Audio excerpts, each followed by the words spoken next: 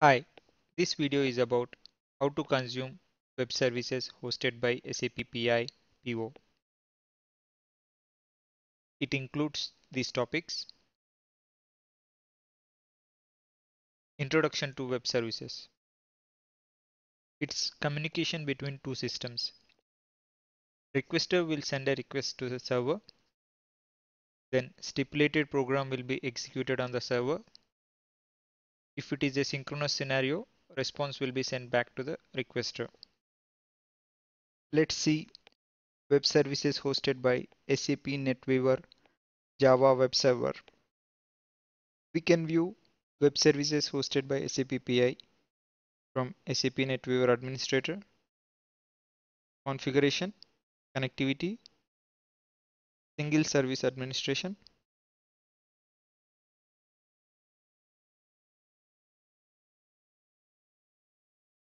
As of now, there are 107 web services hosted by PI.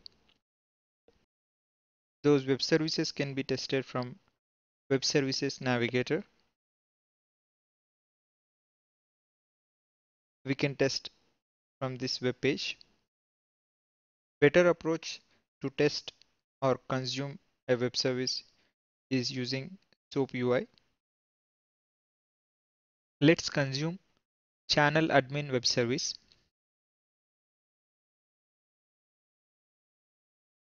Copy the WSDL.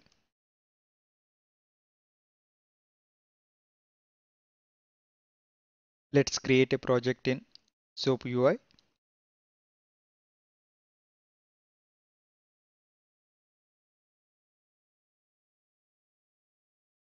Give the WSDL.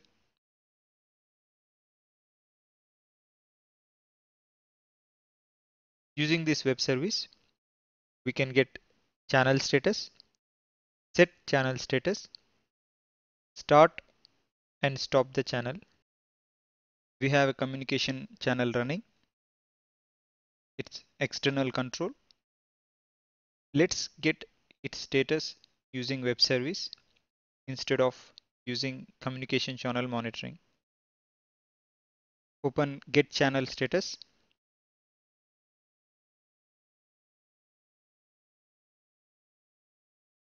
give channel name?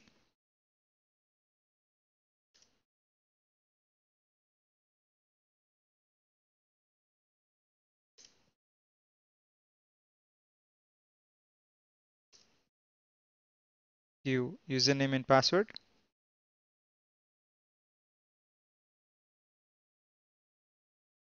Channel status is started and it is external control. Let's say we want to stop the channel using web service. Open stop channel action. Give channel name.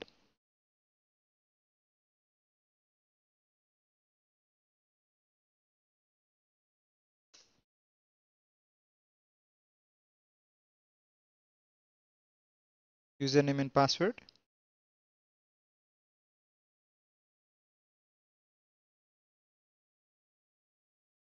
Channel is stopped. Let's see the channel in communication channel monitoring.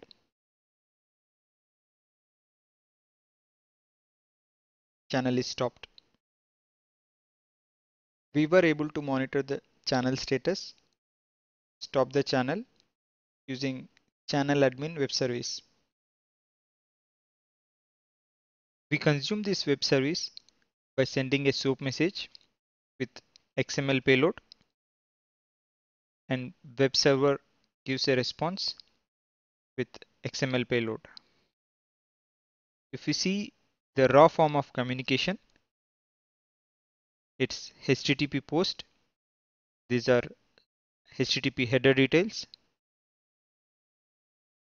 And this is the HTTP response from the server.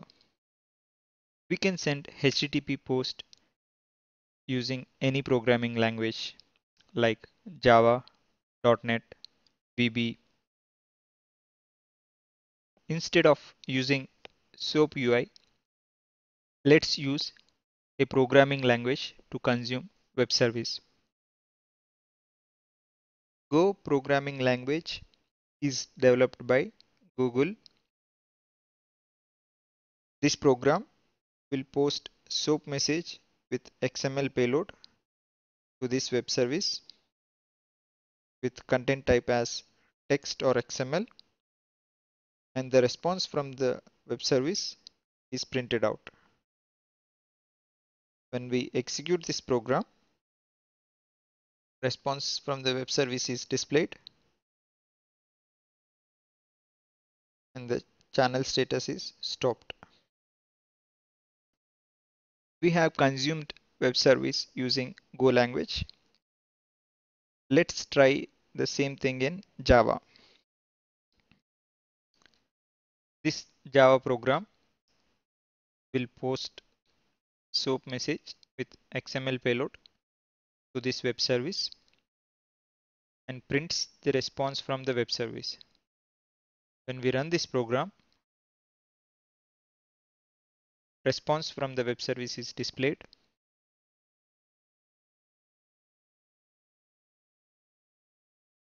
Channel status is displayed. This SOAP XML can be generated using DOM parser or WSDL to Java serialization. Let's see how we can do WSDL to Java serialization in next section. Let's consume the web service using Java program. This time the SOAP message will be constructed by Java classes in the backend. Let's create a project.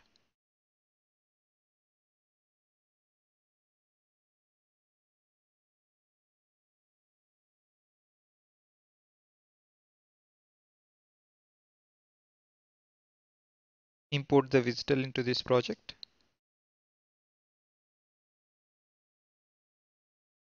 Select the WSDL.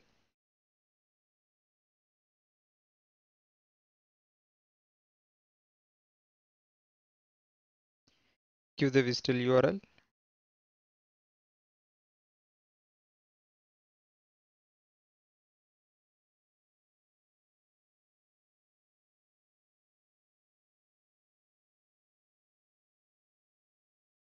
WSDL is imported into the project.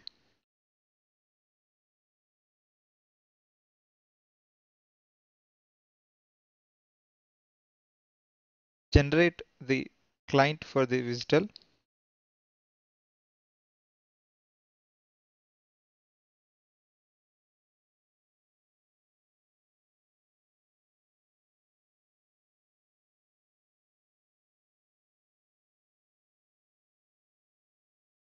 It creates these classes. Let's create main class to consume these classes.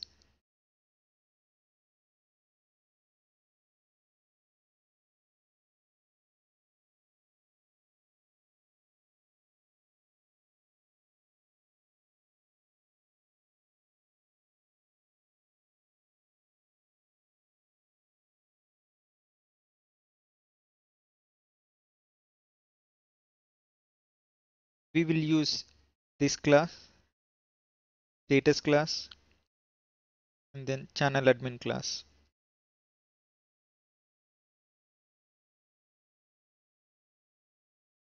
This would be the main class which will send a SOAP message to the web service and displays the response back. Here we are giving the channel details and then here we will retrieve the channel status and print the channel status out. These classes are responsible for sending HTTP post request with SOAP and XML content. Let's run this program.